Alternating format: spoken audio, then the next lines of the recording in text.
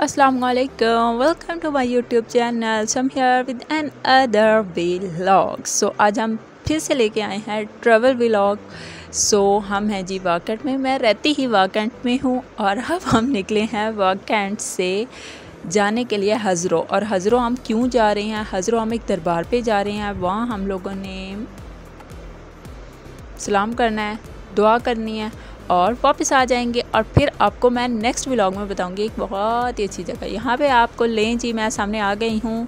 मेरा vlog start हो गया और अंदर आप हमारी गाड़ी के देखिए, पूरा हम लोगों ने पिकनिक का सिस्टम बनाया हुआ है। बाकायदा हम लोगों ने सीट की जगह पर जो है वो अपना बिछा के सारा कुछ कारपेट टाइप का तो उसके अंदर हमने हर चीज़ सेट करके बाकायदा हम इजी फील होकर बैठे हुए हैं और तकरीबन हम लोग निकले हैं एक बजे के करीब और तकरीबन हमें एक लग जाएगा एक घंटा और सवा घंटा, ठीक?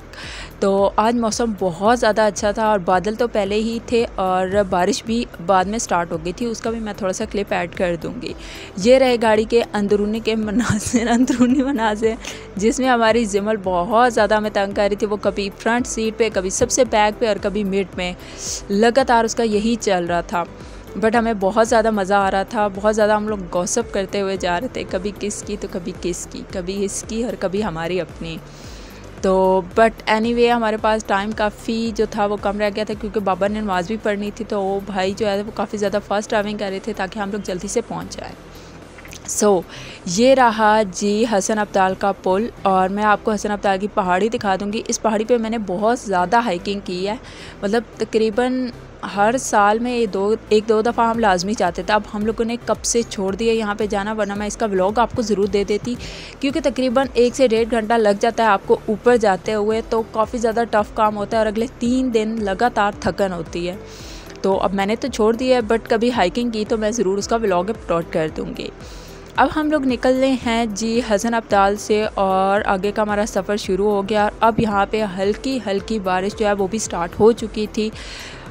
और इसी बारिश को एंजॉय करते हुए मैं तो तकरीबन बिज़ी थी कभी वीडियोस बनाने में, कभी एडिट करने में और कभी पोस्ट करने में। तो इसी में मेरा सारा टाइम जो है वो लग गया था। बट एनी वेज सफ़र बहुत ज़्यादा अच्छा था। और हाँ मुझे यहाँ पे एक बात याद आई है, मैं लोगों को बताऊँ ना हमारे घर में कभी लाइट नहीं गई तो लोग अजीब सा रिएक्ट करते हैं कि आप किस प्लानट पे रहते हैं कि आपके घर कभी लाइट नहीं गई और भाई, हम वाकंट में रहते हैं और हमारी लाइट नहीं जाती और हमें नहीं पता है क्यों नहीं जाती। कोई ऑटोमेटिक सिस्टम में नहीं जाती। लेन जी, हमारा आ गया फ़र्स्ट स्टॉप यहाँ से हम लोगों ने पकड़ लिया मिठाई और समोसे। यहाँ के समोसे बहुत अच्छे थे।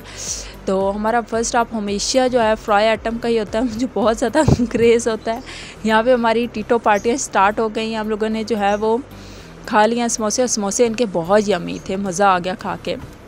और फिर आगे जो है वो आपको हरियाली हरियाली नज़र आएगी, हर किस्म की आपको सब्ज़ी यहाँ पे नज़र आएगी।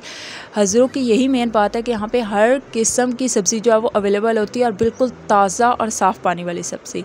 तो यहाँ पे आप जो है वो आराम से कोई भी सब्ज़ी ख़रीद सकते हैं। अगर वहाँ पर कोई बंदा आपको अवेलेबल हो उस टाइम तो।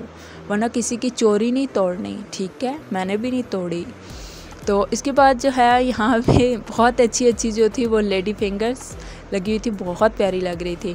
अब हम दरबार पहुँच चुके हैं, यहाँ पे हम लोग उतरे हैं गाड़ी से और मेरे भाई गाड़ी को सेट कर रहे हैं।